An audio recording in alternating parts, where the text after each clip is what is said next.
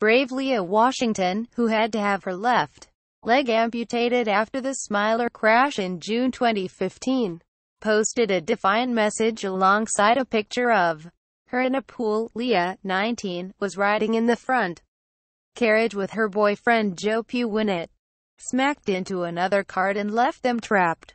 For more than four hours, Joe suffered shattered kneecaps in the accident. The couple are now on holiday with Leah taking to social media to say, just after my accident body confidence was one of my biggest problems. My body and life had changed forever and it is something that I'm still getting used to. Going on holiday and wearing a bikini in front of so many other people was one of my biggest fears but now I'm starting to feel confident in my own skin and bikini lol and realize that every individual looks great in their own way, and don't worry about what other people think it's irrelevant.